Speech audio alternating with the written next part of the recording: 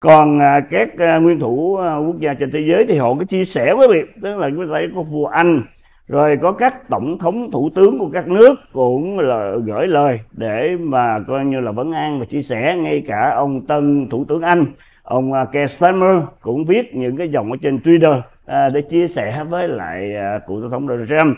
À, về cái vụ âm mưu ám sát vừa rồi à, tổng thống Pháp cũng như vậy hầu hết tất cả các nguyên thủ quốc gia đã chia sẻ à, ngay cả thủ tướng Đức Olaf Scholz cũng như vậy cũng có những lời chia sẻ và có ông à, Zelensky tổng thống ở bên à, Ukraine cũng chia sẻ. À, tức là họ rất là quan tâm với à, cái tình trạng hiện nay xảy ra à, trong cuộc vận động bầu cử tại Hoa Kỳ mà có cái vụ ám sát này. Ông Netanyahu cũng chia sẻ đồng cảm và cũng à, ủng hộ về tinh thần đối với lại cùng thống Donald Trump à, ông tập cận bình. À, chúng ta tưởng là ông ông có thì cũng lên tiếng chính bản thân ông chứ không phải là bộ ngoại giao.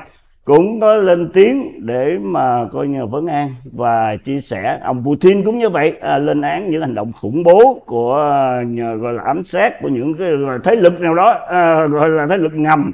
Chứ hiện nay chúng ta cũng chưa biết cái động cơ và những cái tổ chức hay nhóm nào đứng đằng sau cái vụ à, âm mưu ám sát này à, hiện nay là FBI cũng như là cơ quan an ninh uh, Hoa Kỳ đang điều tra. À, để xem coi rằng là có thêm những cái bằng chứng gì dính dáng ở các tổ chức nước ngoài hay không. Chứ không phải là chỉ riêng ở Hoa Kỳ quý vị.